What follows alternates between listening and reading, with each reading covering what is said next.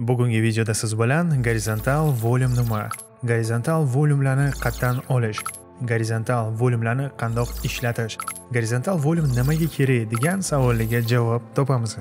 Hammaga salom internet, sizlar bilan Dado. Gorizontal volyums nima?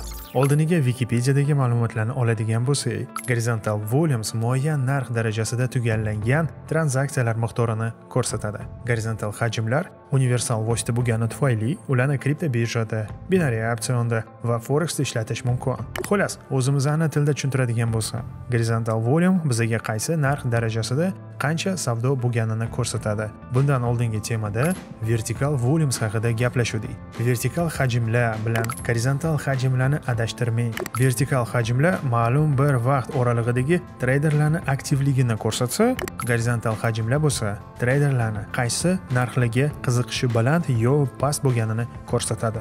Xavotir olmang, misollari bilan tushuntiraman, tushunmagan joyingiz qolmaydi. Qatdan kelib qolgani haqida kichkina tarixga to'xtalamiz. Gorizontal hajmlarni paydo bo'lish tarixi. Yaratuvchisi Peter Stadelmayer 1984-yilda hamkasblariga bozorni tahlilini boshqa usulini taqdim etdi. Aynan bozor profilini. Original ko'rinishi mana bunaqa.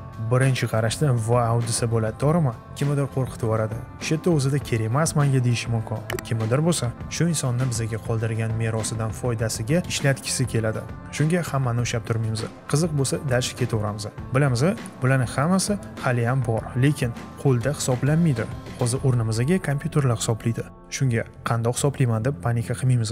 Xo'p, kim yaratganini bildik. Uni tarixiga chuqurlashmaymizda, agar Peter Steydelmeyer ishlari sizga qiziq bo'lsa, uni kitobini Dado Capital botini Forex bo'limidagi kutubxonada qoldiraman. bemalol olishingiz va tarjima qilib o'qib olishingiz mumkin xohlasangiz albatta hozir bo'lsa qisqacha birinchi navbatda ko'rinishi haqida. Shaklini ko'rinishiga qarab uni bell deyishadi. O'zbekchaga tarjimada qo'ng'iroq deyiladi. Bell ya'ni shu qo'ng'iroqni o'ziga yarasha anatomiyasi bor. Bu qo'ng'iroq o'rtasi ya'ni bell center va qo'ng'iroq uchlari. Bell ends bu yuqori va pastki zonalari. Bell center qo'ng'iroqning o'rtasi. Katta hajmli maydon bo'lib bu joyda xaridorlar va sotuvchilar narxdan mamnun ekanliklarini ko'rsatadi. Bu muvozanat zonasi bo'lib xaridorlar ham sotuvchilar ham o'zlariga adolatli narxni topishganini bildiradi. Xullas oddiy qilib qo'ng'iroqni o'rtasi ikkala tarafga ham shu narx bir xil qiziqligini bildiradi. Bell ends qo'ng'iroqni uchlari. Bu kichik maydon bo'lib bu xaridorlar va sotuvchilar joriy narxdan qoniqmaganliklarini ko'rsatadi. Treyderlar tilida bu asossiz baland yoki asossiz past darajalar deyiladi. Bu muvozanat deyarli yo'q zona bo'lib xaridorlar ham sotuvchilar ham adolatli narxni qidirishayotganini bildiradi. Xullas oddiy qilib. Qo'ng'iroqni uchlari narx bir taraf uchun ma'qul bo'lsa boshqa tarafga ma'qul emasligini bildiradi. Ya'ni qiziqish bu darajalarda past bo'ladi. Bu gorizontal volumes bozor kodda ishtirokchilari ishlatadigan asosiy yordamchilaridan biri bo'lgani uchun ham siz bilan mani ishimizda katta yordami tegadi Xo'p, dadosh, buni qayerdan topaman? Kimdan olaman buni? Nechi pul buni narxi desangiz, birinchidan bepul, ikkinchidan hozir qayerdan olishingizni qulay yo'llarini tushuntiraman. Gorizontal volumni qayerdan olish? Gorizontal hajm grafigimizni chap tomonida ham o'ng tomonida ham joylashgan bo'lishi mumkin. Bu bilan hech nima o'zgarmaydi. Trading viewda gorizontal volume o'rnatish instruksiyasi. Trading viewga kirasiz chap tomonidagi instrumentlarni qatoridan 7 bo'limga tushasiz. Ro'yxatni oxirida fiksirованный profil объема deganini tanlaysiz kechagi kunni maksimumlarini tanlab minimumigacha chiziqni tortasiz. Bo'ldi. Mana sizni volum indikatoringiz xizmatingizga tayyor. MetaTraderga gorizontal volumes o'rnatish instruksiyasi.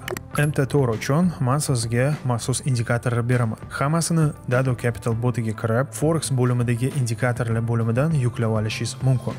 Uni MetaTraderga o'rnatish usuli. Indikatorni arxivdan chiqarasiz.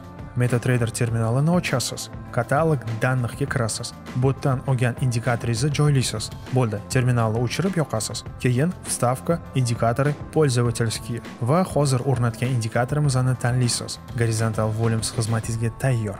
Xo'p, dadosh, buni hammasi yaxshi yo'q, lekin buni men qandoq ishlataman desangiz, xavotir olmang. Hozir shuni siz bilan oson usulini ko'rib chiqamiz.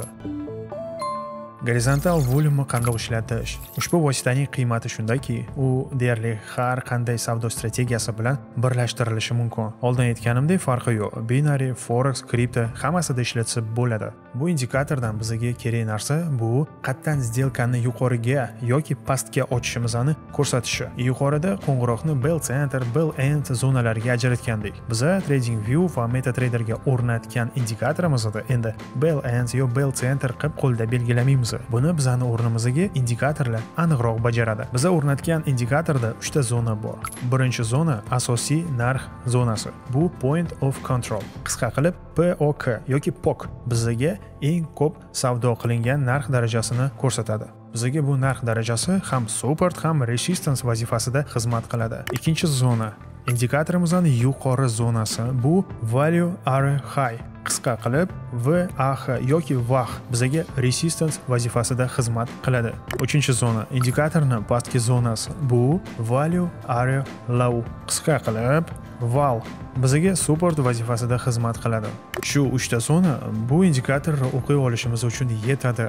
Hammasi yaxshi-yu dadosh no tushunmayapman bizani ishimizda shuncha indikatorlar bor shuncha yordamchilar bor. Nimaga kerak bu? Volyum indikatori desangiz hozir hammasini tushunasiz nimaga bu bizga kerakligini.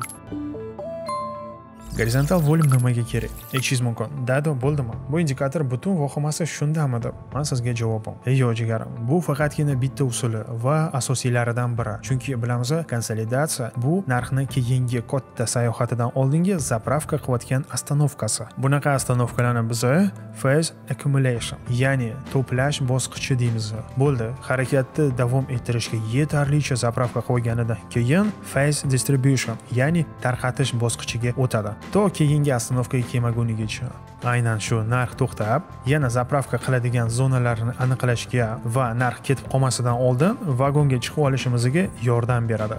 Oddiy qilib aytsam bu gorizontal volyumlar yordamida siz muhim support va resistance darajalarini belgilashingiz mumkin. Bilamizda support va resistance bu tradingda tuz ko'zir. Bugungi kun vah val va pok zonalari yordamida ertangi kun narx darajalarini belgilaymiz. Chunki narx shu darajalarda sekinlashadi. O'ylaymanki oddiy qilib va sodda qilib tushuntirdim. Xullas savollar bo'lsa instagramdan topishingiz mumkin mani chunki telegramda kasha malasha hammasi. Dado capital bot sizni xizmatingizda. Darslarni kitoblarni indikatorlarni hammasini shu yerdan topasiz. Manzili tavsifda. Videoga albatta layk bosib yaqinlaringiz bilan bo'lishing. Olayotgan qimmatli ma'lumotlarga minnatdorchilik sifatida kanalga obuna bo'lib layk bilan komment qoldirishingizni so'rayman. Joyingiz omon bo'lsin. Siz bilan dado bo'ldi.